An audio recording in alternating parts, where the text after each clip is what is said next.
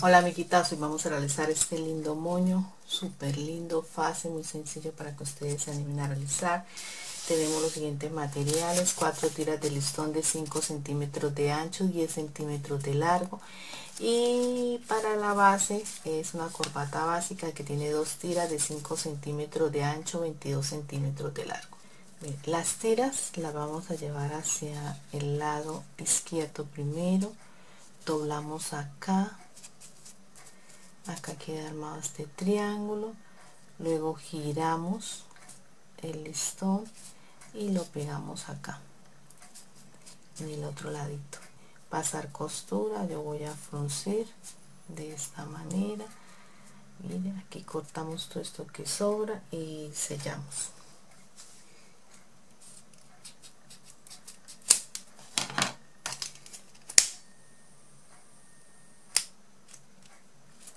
ya queda la primera pieza.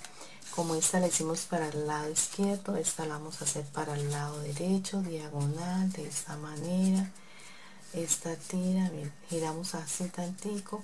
Esta tira la llevamos acá a la esquina. Armamos el triángulo que les dije giramos. Esta tira la llevamos acá. Atrás también queda este triangulito y ya queda la pieza y aquí ustedes pueden fruncir de esta manera o pasar puntadas cortan todo lo que les sobra que quede igualito todo y sellamos.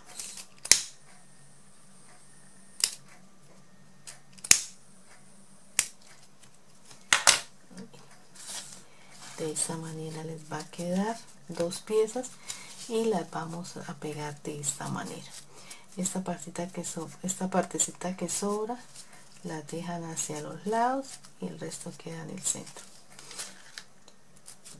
Unimos las dos piezas.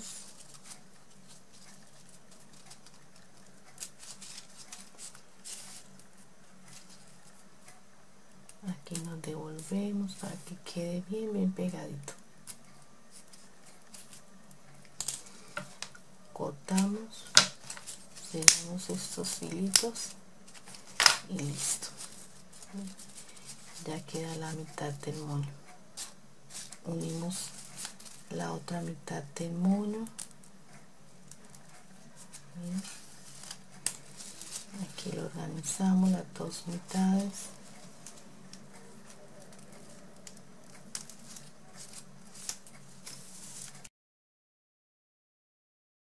Que quede bien pegadito le pongo un poquitico de silicona.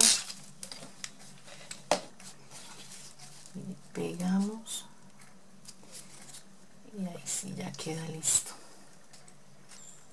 Entonces aquí hacemos una puntadita de seguridad que no se nos suelte.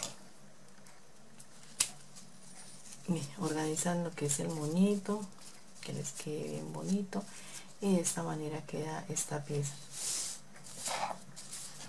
con estas tiras. Armamos un moñito cruzado. Ya están selladas las puntas marcado el centro. De esta manera. Esta pieza la vamos a poner acá encima cruzadita. Aquí organizamos las punticas. Y aquí vamos a pasar puntada por todo el centro